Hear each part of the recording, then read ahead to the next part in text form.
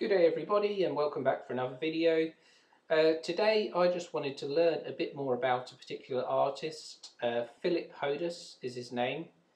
Uh, he's on Nifty Gateway, he's been quite busy on Nifty Gateway so I thought I'd just check out some of his work, check out his website, uh, learn a bit more about him and just record my doing so so you could sort of come along for the journey. A magical journey. So let's have a look at him here on Nifty Gateway. As you can see, he's dropped eight collections, so he's been a busy boy. And there's a theme that runs through his work. It's sort of the decaying, decaying popular culture, the death of popular culture. Sort of in, in the future, it's been all forgotten. Maybe it's dystopian. So it's Pop Culture Dystopia by Filip Hodas. So yeah, everything sort of in these sort of wastelands, all, all forgotten and, and decaying. And he also does these sort of uh, the skulls of characters from popular culture, Popeye, SpongeBob, Bender from Futurama. So let's check this bit out, this piece. Filip Hodas. So originally went for $350, so that's I think that's an absolute steal only 190 editions minted, so not too many. Let's see if we can, uh, let's have a look at it on the marketplace, see what it's doing now.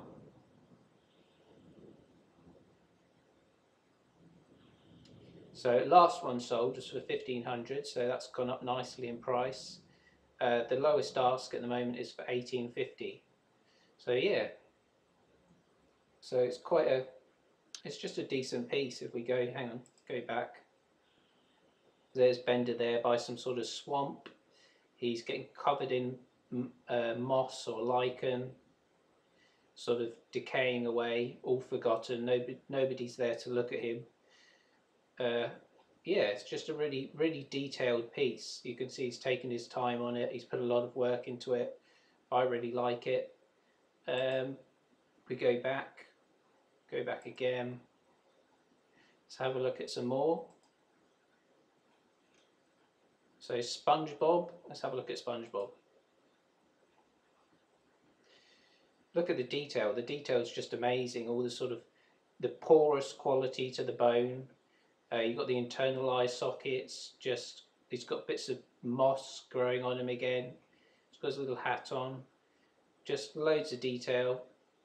Uh, let's check him out on the marketplace. Only 82 editions purchased initially, so nothing really.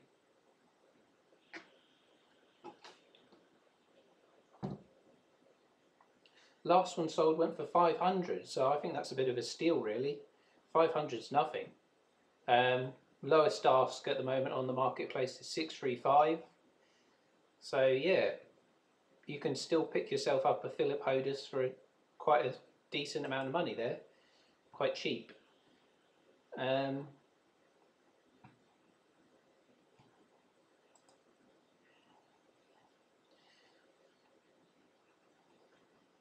there's Popeye. Let's go and have a look at his website. He's got a website.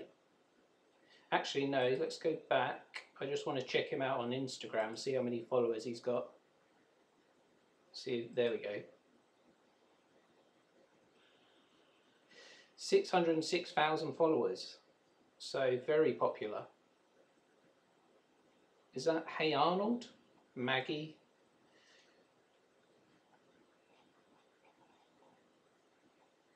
Cool. Let's check out his website. Here's some of the commercial work he's done. That's really cool. I really like that. Adidas. Is that Coca-Cola? Uh, let's check out the About section, see if we can learn a bit more about him. Yep, Filip Hodas is a 28 year old, so he's only 28. Uh, 3D artist based in Prague, Czech Republic. In 2015, Filip started a daily render project that lasted for almost 400 days and helped him gain initial traction online. Since then, he accomplished to grow to one of the most followed 3D artists in the world. Throughout his career, Filip accumulated over 650,000 fans across his socials which opened the door to collaborations with numerous international brands such as Adidas, Coca-Cola, Samsung, or artists like Jean-Michel Jarre. Over the years, several of Filip's renderings went viral and made front pages of numerous sites and social networks from Bored Panda, 9gag to Reddit. His work was also featured in several exhibitions across Europe and one of his images even made it to London's Tate Modern. Wow, that's pretty cool. Filip is most known for his artwork series Pop Culture Dystopia that envisions decaying pop culture icons such as Mickey Mouse, Pac-Man or Hello Kitty in desolate and abandoned post-apocalyptic landscapes. In 2020 he followed with a similarly pop culture series called Casting Fossils portraying realistic skulls of the casting characters from his childhood. Mm, there's a list of some of the people he's worked with. Adobe, Adidas, BBC, Coca-Cola, Google, IBM, loads of people, Samsung, loads of people. He's a very popular boy. I know it's cool. I, really like his work. Um, I don't know if I'm sort of holding fire at the moment on buying any new new work pieces of work, any NFTs. So, but I'll keep my eye on that SpongeBob piece, see what that does. Yeah, so that's about it really. I just wanted to have a quick look at Filip, his work, and just learn a bit more about him. And I thought I'd just record it. So thanks anyone to, who's watched the video, and I might make some more in the future, who knows, but that's about it really. Okay guys, thanks for watching, and I'll see you in the next one.